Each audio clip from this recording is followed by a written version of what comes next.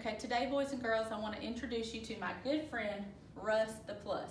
Now, Russ the Plus is always happy because he's always getting more. He likes to take one part and another part and put them together to get more. So this is Russ the Plus because this helps us know that it's a plus sign that we're using in addition. So this is the plus sign. We say plus or adding. And this is the equal sign. Okay, these are the symbols that you use in an addition equation.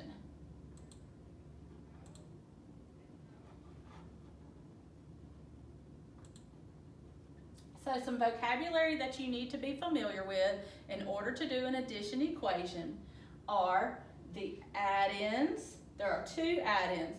It's the first number in your addition equation and your second number in the addition equation. The numbers that come on both sides of the plus sign that we just talked about. Then we have our equal sign again, and the answer to our addition problem is the sum.